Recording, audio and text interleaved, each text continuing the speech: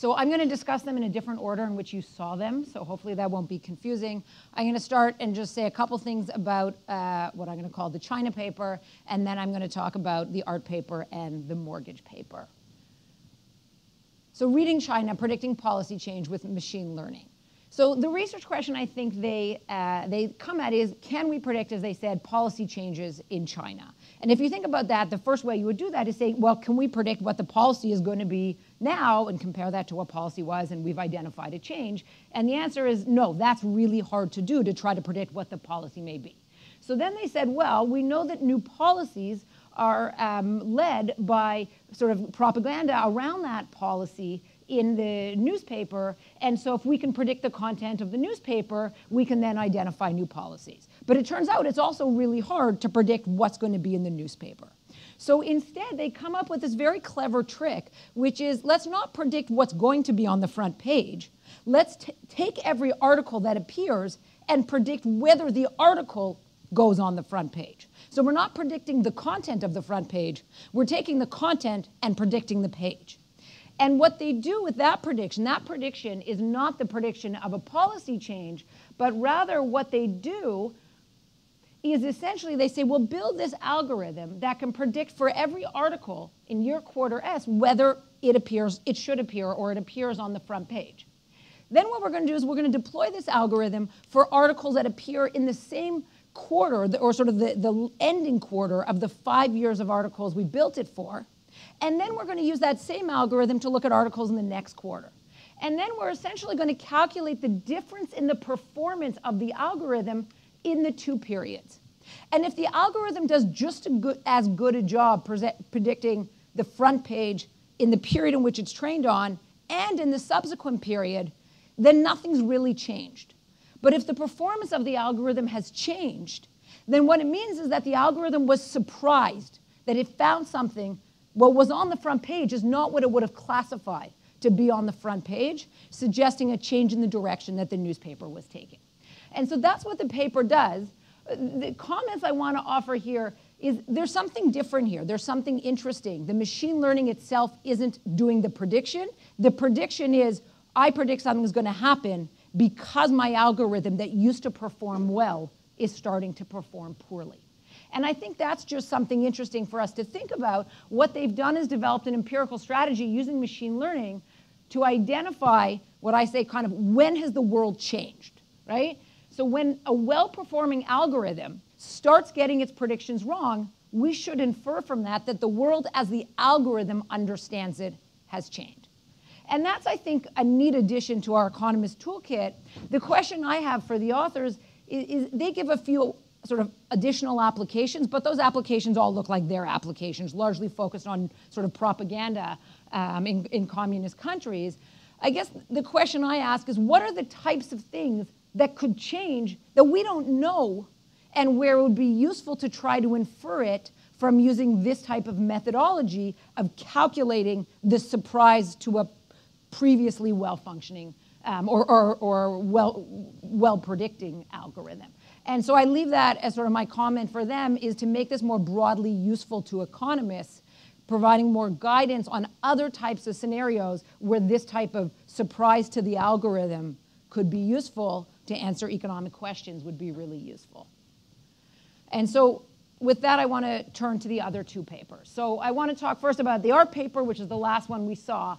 So the research question here, I, am going to sort of take it up a level from what the, the author presented, the, the question at a high level is what happens when we replace a primitive prediction technology with a more sophisticated machine learning based one.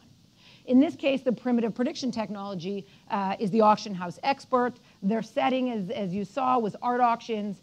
Every auction house has an expert who forms a high and a low estimate of what a painting will sell for. That's their prediction. This prediction is shared with the bidders, and then the auction takes place.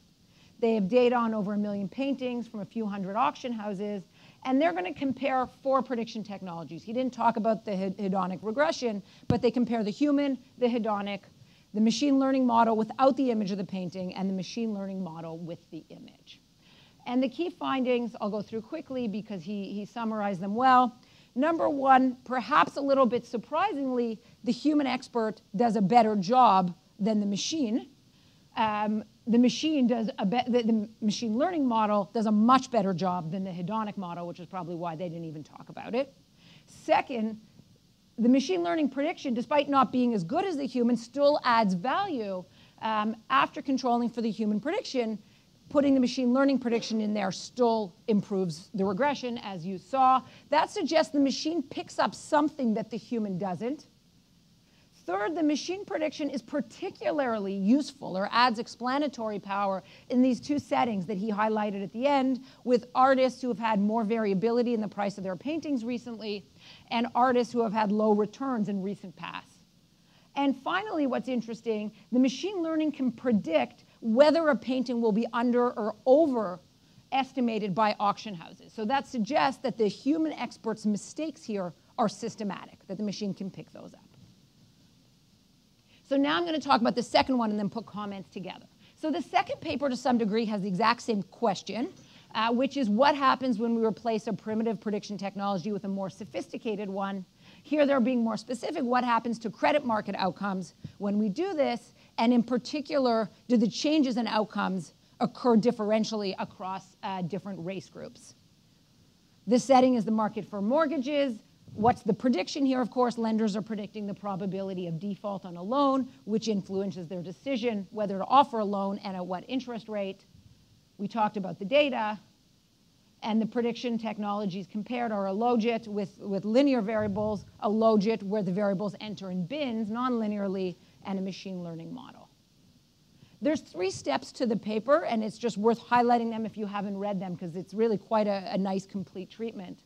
The paper starts with a simple model that just gives the intuition of why the machine learning model could generate differences across race groups, the triangulation argument, and the flexibility argument. The paper then carries out the, the empirical exercise of going through predicting a given borrower's uh, probability of default with the different technologies and seeing how the predictions differ. And then the last part uh, is they embed those predictions in an equilibrium model of competition between lenders so that they can say something not just about how your predicted default changes, but what are the resulting equilibrium effects on who gets loans and at what interest rate. And the findings, I'll go through quickly again. The, the presentation, I think, was, was very nice. The machine learning models improve the accuracy of predictions here. But the machine learning models lead to winners and losers. They didn't use this term in the presentation, but I think it's the easiest way to think about it. What does it mean to be a winner from the machine learning model here? It means I'm predicted to have a lower probability of default than I was before. So I've won because I'm a better risk now, under, or I'm predicted to be a better risk. Losers are the opposite. And what that nice picture that he showed shows that black and Hispanic borrowers are the least likely to be winners from the new technology. And then when you run this through the equilibrium model, they find that overall more, more people are offered mortgages, um, and even more so in, uh, among black borrowers. But white and Asian borrowers are more likely to receive lower interest rates, and the within group and cross group dispersion of interest rates increases. Okay, so a couple of comments on these two papers, which I think are a nice package. So much of the attention around AI and even at the conference today is focused on those places where we think AI is going to replace our jobs, right? What are the tasks and jobs that are going to be changed or replaced by AI? And I think of these as the jobs that don't look right now like prediction problems, but now that AI is getting so sophisticated, the job has become a prediction problem, right? The radiologists, the truck drivers, the customer service agents. But probably the most immediate applications of machine learning should be existing prediction problems that look just like prediction problems that we're currently using a primitive prediction technology for, and where we can probably pretty easily just substitute machine learning as a better prediction uh, technology. And so those two papers give us two examples, setting estimates for art auctions. You could think analogously about setting list prices for homes, predicting credit worthiness, I think fairly analogous would be um, predicting risk for insurance, predicting fraudulent transactions, or for firms forecasting you know, sales or inventories or, or hiring needs. All of these are things that are, have always been prediction problems, and now we just have a better prediction technology. And so in these scenarios, machine learning integrates into existing jobs, into existing work, workflows, so we should expect to see adoption there And so I think it makes sense for us as economists to be thinking uh, about the effects of these. And, and maybe we don't need to because it feels like, oh, not much is going to happen. It's just sort of the same thing a little bit better. But I think in particular what the, the mortgage paper shows us is actually things might happen. And so how do we think about approaching this type of question? What happens when a primitive prediction technology is replaced with a more sophisticated one? There's sort of five steps to think about. First, the firm chooses the new, whichever prediction technology. Then it predicts whatever it is it needs to predict. The firm then makes some decision based on that prediction as an input to the decision. Then stuff happens, right? Then other agents make decisions. Their competitors make decisions, or the, the borrowers decide whether to accept the loan, or whatever else happens, and equilibrium outcomes and payoffs are realized. And so, you know, on one hand, you might think that the, if we're going to answer this question, sort of what happens when we replace a primitive prediction technology with a more sophisticated one, the most straightforward empirical approach would be to get data on adoption of the new technology, find some variation there related to equilibrium outcomes, and write a straightforward paper. Now, that's not what these guys do. There's nothing wrong with the fact that that's not what they do. I imagine they just don't have that data. But in a sense, in our minds, that's what we're trying, we're, we're trying to understand this link. And these papers, these last two, or the last, these two papers, are sort of operating at different port points along here. So what these papers are doing instead is not directly relating those things. They're saying we have the data these firms have. And so we're going to apply machine learning for them to the prediction problem they have. We'll do the prediction with the different prediction technologies and figure out what happens. And I don't know, it'd be interesting for you guys to speak to whether they are being used in the way that you use it in the paper or not.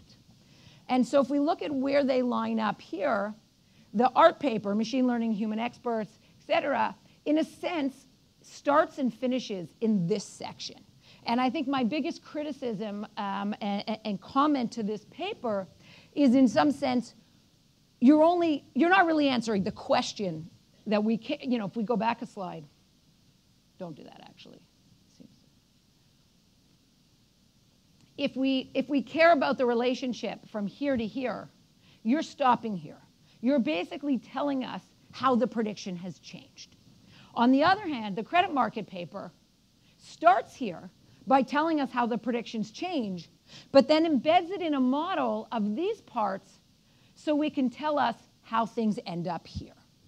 And I wanted to, I think that difference is really important because I want to encourage the authors of the art paper to try to do the same. So if we think about, as economists, this question, you know, what, how does the adoption of machine learning as a replacement prediction technology matter? And we say, where should we focus? I would argue we shouldn't focus here. I mean, there needs to be a difference here for there to be a difference here, but this seems like something the statistician should be figuring out, horse racing these different technologies. Where our comparative advantage would be, it seems to me, is over here, right? Once we figure out how the prediction changes, then what are the non-obvious effects on equilibrium outcomes that maybe we didn't think would result because it feels like we're just slotting in a new prediction technology. And as we're starting to see, as we can see in the paper that takes it all the way to equilibrium outcomes, there can be a whole range of effects that maybe we wouldn't have um, anticipated. And then ultimately, if we can think about kind of what happens here, we then should also be able to think back to who's going to adopt the prediction technology and who'll adopt it first and where will it be, you know, where, where will it be adopted first. And so uh, my, my concluding comments, you know, our comparative advantage as economists approaching this question, I don't think is in horse racing different prediction technologies. I think we're good at thinking about decision making and the equilibrium outcomes that result from those decisions. And therefore, it seems to me where we should be focusing is on these types of questions. You know, when will upgrading a prediction technology generate changes in equilibrium outcomes, and what are the welfare implications of these changes? And so I'd push you in your paper to say, look, what would happen if the auction house were to either replace the humans with the machine learning or augment it, right? What would be different, right? So which paintings would sell that wouldn't have sold otherwise? Which artists would make more money who weren't otherwise making money? Which paintings would not sell that otherwise would have? Unless you can tell us sort of some outcome is going to be different, I'm not sure why we care that the predictions themselves are different. And I think there will be differences. But in order to make, I think, an economically interesting paper, we need to see that.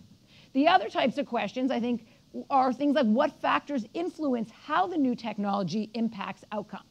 So if we go all the way to where you did down to the equilibrium model, now we can start thinking about different assumptions about the model you took. If the, if the, you know, in your case, the lenders were symmetric, right? So what happens if the lenders are not identical? What happens if the lenders don't both have access to an equally good prediction technology? What if one of the lenders has a great AI and another one has a mediocre AI? How does that change? And what I didn't find, and maybe I missed it, is what happens to the profits, the profitability of, of mortgages to these two firms. Uh, and that's sort of just what I haven't read is just pushing you to help, since you've gone almost all that way, to help us think about, you know, what market conditions would change your findings. I think that's it. Okay, thank you.